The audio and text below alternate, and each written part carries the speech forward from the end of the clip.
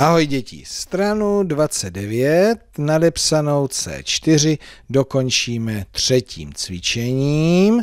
Vidím tady delší zadání, chviličku počkám.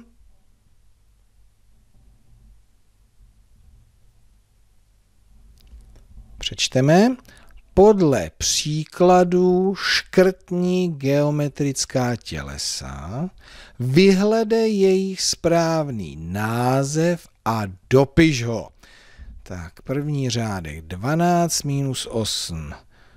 5, 10, 12 minus 8. Bez jedné, bez dvou, bez tří, bez čtyř, bez pěti, bez šesti, bez sedmi, bez osmi. Rovná se čtyři, ale vy už jste to dávno věděli. Takže podle příkladu jsem škrtal a vyhledej správný název. Tak co pak tohle to je?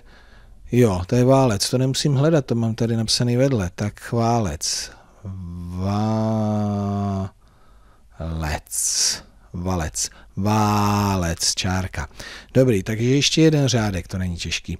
12 minus 5, jo, tak všude máme 12 minus, takže tady je 12 všude, minus 5, minus 1, minus 2, minus 3, minus 4, minus 5, bez 2, 10, bez 3, 7, jo. Tak, 7. No a teďka, co to je? Krychle. Hele, to je trošku delší slovo a je napsáno tady tvrdý i por. Mhm. Vejde se mi to tam, zkusím to. K, kry, ch, le. No, ale jo.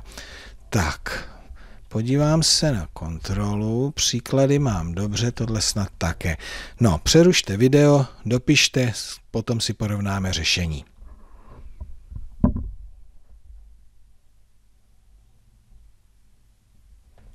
Výborně, slibované to řešení. Tak, tohle jsme udělali, ano, válec, to jsme psali, to jsme udělali taky. Tak, 12 minus 4, bez 2, 3, 4, rovná se 8 a jsou to koule. Máte zkontrolovaný? Ne kole, ou, koule. 12 minus 9 rovná se 3, takže takhle znázornění a tohle je kužel. Háček je tam, výborně. 12 minus 7 rovná se 5. Tak, minus 7, ano, rovná se 5. Tady jsem to zapomněl. Kvádr. Máte čárku? Není tam kvadr a je tady dr. Kvádr. Aha. A 12 minus 6 rovná se 6. A to poslední je jehlan.